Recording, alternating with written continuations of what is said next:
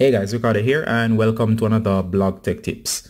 In today's tutorial guys, I'll be showing you how to set up two-factor authentication on your I'll be showing you how to set up two-factor authentication on your Samsung account in case you do not know what two-factor authentication is.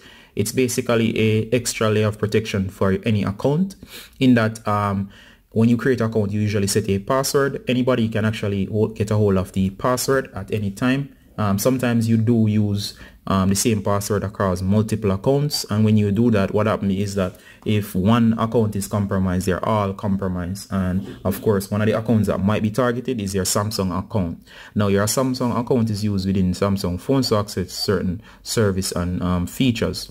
Uh, most of the time you do not know about it or you don't even think about it as it's used to back up stuff to the cloud such as your contacts and so on. But of course because um, you only um, sign into your account the first time you're logging into your um, Samsung phone you basically forget about it but it's actually in the background. It's much like on iphone your icloud account or so on. All right so let's show you um, what it is and where it can be found. Now usually you use it in the um, in the galaxy store and of course you do use it to back up your settings and so on on your devices and your pictures and all of that so to get to your um, account, since this is a Samsung Galaxy phone, works on any Samsung, Samsung um, S10, S11, S20, you name it. All right, so let's go into settings. Once you're in settings, you may notice a small icon here in the upper right hand section if you're signed in. Um, in most cases, you should be if it's a Samsung phone. Go ahead and tap. Once you tap, you should be taken to your um, main Samsung account. Notice in here there's a lot of information. You can change passwords and so on. But of course, there's also the option if you go down here and so if you go here under um, the option that says um, password and security, tap and of course you'll see a bunch of options in here.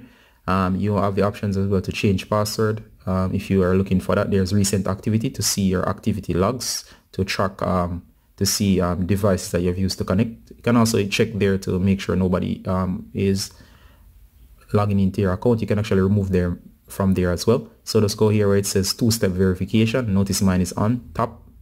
And of course, it will run you through the process. It might ask you again for your password and fingerprint and all of that.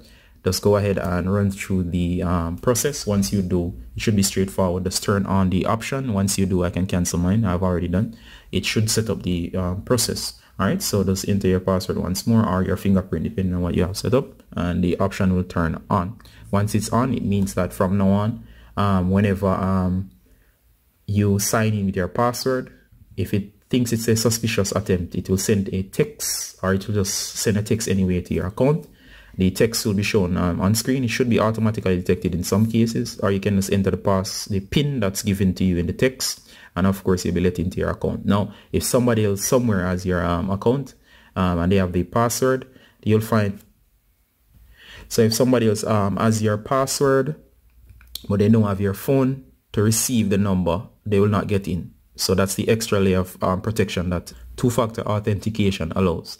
And it's recommended you turn it on on your Samsung account and your other accounts as well to make it that harder for somebody to break into your account. So of course, um, that wraps it up. Once you have it on, you should be much more secure and protected. All right, guys, Ricardo Gardener from Blog Tech Tips saying bye until next time. Bye, guys.